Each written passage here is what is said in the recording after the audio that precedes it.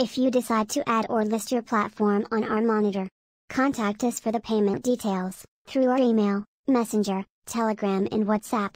Do not click any currencies button or any form of payment systems button on our website.